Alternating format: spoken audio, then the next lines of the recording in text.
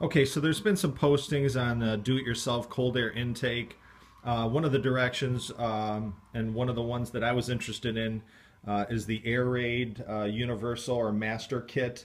Uh, basically, it's it's a, a long, uh, contiguous pipe with various angle bends and straight runs that you can basically cut and piece together for your application.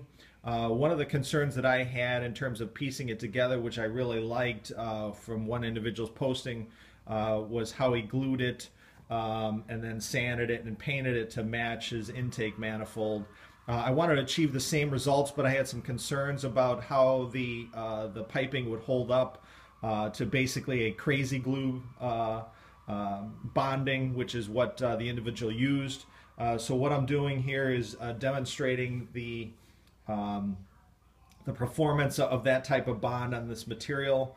Um, and so this is the uh, the example that I'm using.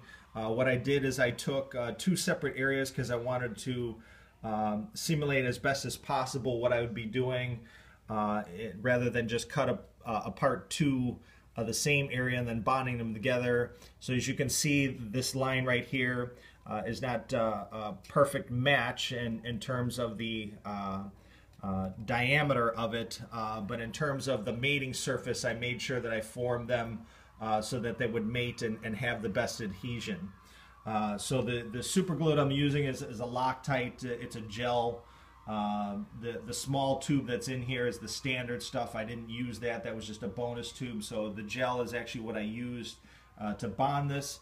and what I wanted to uh, at least uh, demonstrate or understand for my own edification is, is the durability of this. Uh, as the individual that uh, said they bonded this uh, said that it worked quite well and they hadn't had any issues, I wanted to, to sort of push the limits on this and do a drop test and see how it would uh, hold up. So with that being said, I'm going to do just a drop on the tile floor here and see how it holds up.